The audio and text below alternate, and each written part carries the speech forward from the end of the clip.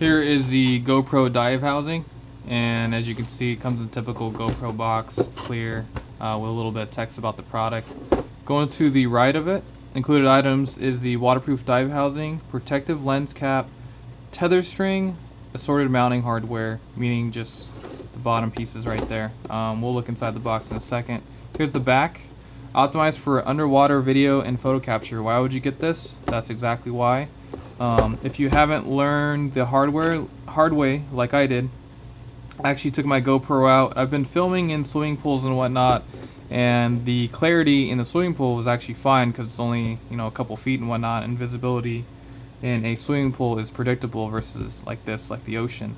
Um, the other thing is in the ocean, you're going to be a lot farther away, and it's going to become more important the uh, clarity of the lens and the flatness of it as well to allow the GoPro to focus appropriately underwater.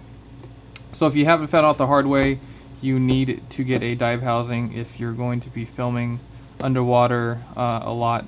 Um, even though you have the waterproof housing for like swimming pools, if you're going to do ocean, um, especially clear waters like that, it's beautiful running around along rocks, kelp beds, uh, you, and you want to film it properly, you need, you need a dive housing. The dive housing features a flat lens to improve maximum photo plus video sharpness underwater in all resolutions. Ideal for diving, snorkeling, or any underwater film scenarios. There you go. Compatibility with HD Hero, so the Hero 1, HD Hero 2, and all GoPro mounts and accessories. It's waterproof as well to the 197 feet, 60 meters uh, rating as well. There's a, another picture about it. Learn more. Let's open this up.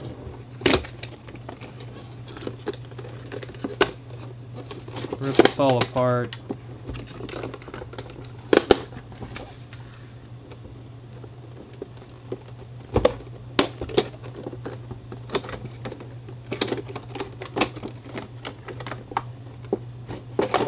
Little box of accessories go inside here first.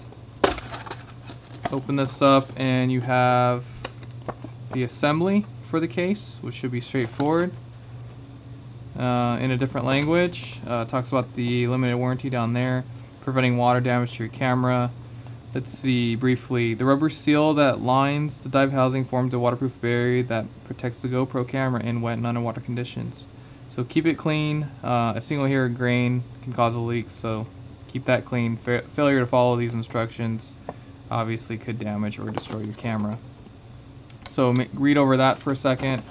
You have the dive housing lens cover. Protect that flat lens. Let's pull this out. That clips in.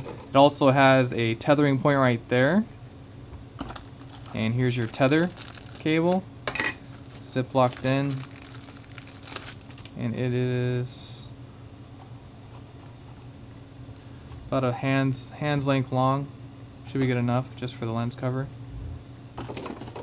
So let's open up the rest of this, nothing else. And pull the casing out. There is the dive housing outside the box. Now you don't obviously you can put on your own uh, your own GoPro mounting setup that you have going on. The flat lens looks like it could be replaceable just like the other GoPro lens. Uh, these looks like Star Hex. Um, not sure what the size is, but you could replace that flat lens right there. Pretty cool design. I like this design versus a lot of aftermarket uh, BlurFix lenses and whatnot that's out there. Um, this one looks pretty darn well built as you can expect from GoPro. Here is the way the lens cover would go on, sorry. Boom, just like that. And it has that little cutout so you can still access the button, turn the camera on and off and whatnot.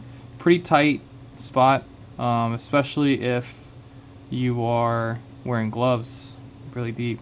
So probably not a huge deal, but definitely something to think about. And let's figure out how this tether goes on.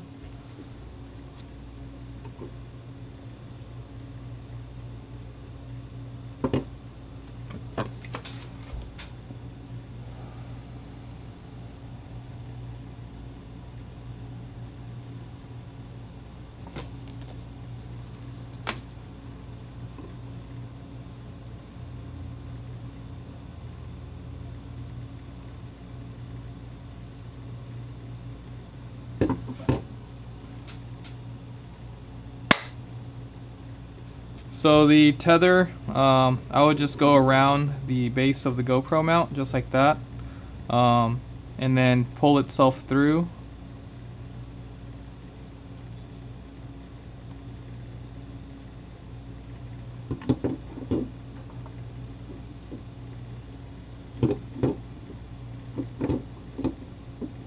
Go around the base of the GoPro mount and just pull itself through.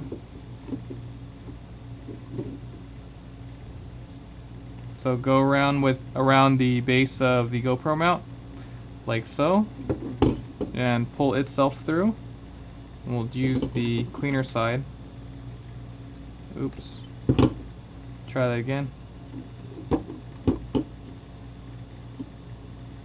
And we'll pull that loop just right through. And then you'll end up with this side.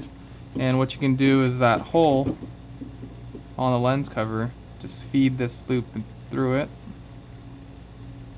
Boom. And you could feed the lens through it, through the cable. Cinch it down, and you have the lens cover attached to the base of whatever GoPro mount you you decide to use. Put your lens cover on there, and you're ready to go. Of course, you open it like so just like the normal case. Put your GoPro inside. And then, of course, like the instructions say, make sure even the hair or grain of sand and whatnot, make sure this is nice, white, clean. Place the GoPro inside. Uh, if you're using a different backing, obviously you'd replace the backing for like your battery BacPac, GoPro Wi-Fi and all that. Close her up and you are ready to go. That's a quick look at the GoPro dive housing. Also, it comes with a second tether, just FYI. Thanks for watching.